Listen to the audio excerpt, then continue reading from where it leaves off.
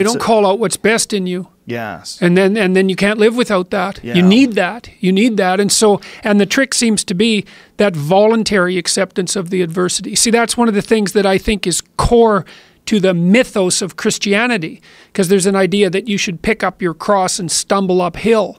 And that's really what that means is that you mm. you know you set your you set your eyes on some high level vision, the city of God on the hill, whatever that happens to be, you know. And then you take the burden whatever burden you're capable of lifting, which is obviously going to be a burden of suffering, at least to some degree, and you carry that voluntarily. That's the trick, is that, and then you say, well, you need a purpose in your life. It's like, well, look, there's a lot of problems around you in the world. You have some problems.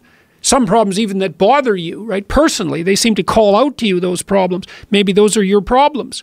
Those are the problems you should solve. And those, I think, are the call to adventure. It's like, there's a problem. It bugs me. Okay, do something about it. That's your problem. there's a certain amount that you could tolerate. I mean, I think it's like weight training. There's a certain amount where it becomes detrimental, Yeah. where you've overtrained, Yeah. your body's breaking down. There's a certain amount of problems that you have in your life that are extremely beneficial. Yeah. Because through going through these problems, sorting them out, you you build your spirit, you you build your character. And if you don't accomplish anything and you never encounter any problems, you you are this gelatinous, soft, atrophied soul, Mm-hmm. and you don't have the intestinal fortitude or the spirit or the the, the, the the human potential has not been developed to the point where you can overcome adversity. The only way to overcome adversity is to face it. So that that optimum that you were talking about. So I've really been interested in the neurophysiology of the of the sense of meaning. Neurophysiology neurophysiology, the yeah, yeah, because the meaning. me- meaning, the feeling of meaning is an instinct. Right. It's not a thought. It's not a secondary consequence of rational processes. It's way deeper than that. It's something that drives rationality itself. So now you were just it vary amongst people? Definitely. Yeah. De- but it varies in this way, as far as I can tell. So that so imagine, as you said, that there's an optimal load, right? You Right. exceed that and to your detriment. Yes. And you see that in the weight room. You pull a muscle, you hurt or you'll hurt yourself. Yeah. You can injure yourself very badly, right? You can take yourself out for the count. Um, but then if you if you work too little, well then there's no gain in it. You have to find that thin edge where you're competent at what you're doing, but you're pushing yourself. That's going to be where meaning lies. That's what meaning tells people.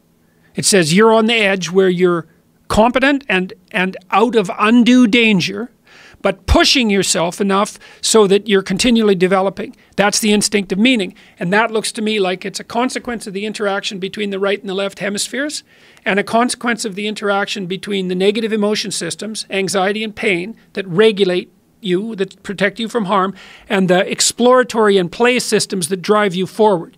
You want the exploratory and play systems to drive you forward, but then they're regulated by these negative emotions so you don't hurt yourself. And if you get that optimally right, then that's the maximal, that's the point of maximal challenge. And that makes you really alert because your positive emotion is functioning. That's what's driving you forward. This is worth doing. And your negative emotions are alert too, saying, yeah, but be awake and be careful. And you know what that's like in the weight room. If you know you're lifting something that's at the edge of your ability, and you've got a spotter, you want to push and you can barely do it, and you want to make sure that you're not going to like pull Yeah. your arm down and rip the hell out of your muscle. But you, you're right on that edge, and that's the place of maximal gain. And that sense of meaning, that's what puts you on the border between chaos and order, right? Because too much order means you're just practicing what you already know and then you then you you stultify and stagnate. And too much chaos means you better look out because you're going to hurt yourself. You're pushing yourself beyond your limits. You stay right on that edge. That's where there's maximal meaning, And, the only you're way to wired find out for where that. that, edge is, to push it. To push it. Yeah. Well, one of the things I recommend to young people, especially true for people in their 20s, is that you should push yourself beyond your limits of tolerance in your 20s to find out where it is. How much can you work? How disciplined can you become? Like, can you work 12 hours a day? Can you work eight hours a day? Can you work three hours a day? Like, flat out. Where's your limit? And how much, how much work can you do and how much socialization? You should find out.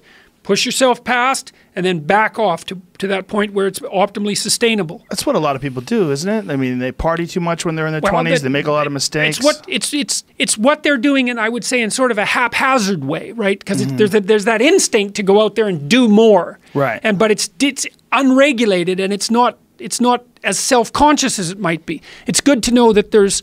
It's good to think about that as a goal. It's like you're trying to discover what your limitations are when you're when you're in your 20s so that you can hit that edge so that you can sustain yourself across the decades. And so yeah, cuz you don't you don't want to you don't want to have too much fun. Right? Too much fun takes you out. You don't want to be the oldest guy at the disco. You know, it's not it's not fun being the 40 year old at the singles bar precisely. So you want to make sure that what you're doing is age appropriate and you want to push yourself in every direction that you can, but you should be doing that with an aim in mind. It's like you're trying to make yourself into a better and more competent person. And so some discipline along with the fun is a good idea. So to take care of yourself and the people around you, that's a one of the things I recommended to people, and I've had quite a few people actually tell me that they've done this, interestingly enough. I said, well, one thing you could aim at, if you had any sense when you were young, is to be the most worth you could be the most reliable person at your father's funeral. And so I think that's a good challenge. And I had a bunch of people come up to me in this last tour and tell me that that's exactly what they did. These were often young guys, you know, like before 20. Said, my dad died suddenly, or, you know, he died after a year's illness and it was just taking me out. And no wonder, you know. He said, I said, I was listening to your lectures. You said you want to be the most reliable person at the funeral because everyone else is grieving. And what the hell else are you going to do? He said, that's what they tried to do. And that got him through it. So, no, that's part of that picking up that load as far as I'm concerned. You get a little self-respect out of that too in a real sense, right? Because you know, you're this sort of sad suffering creature that's capable of a fair bit of malevolence, but if you find out that you can carry a heavy load and take care of yourself and have a little left over for some other people, then you can wake up at three in the morning and think, well, man, I could be worse. And this is not a political perspective. This is a positive, constructive way of looking at how to navigate the world. But when you break down these sort of behavior types, whether it's the people that generally support socialism or socialist ideas, or they're anti competition versus people that are uh, pro pushing yourself. They fall into these right wing, left wing sort of paradigms in this really weird way.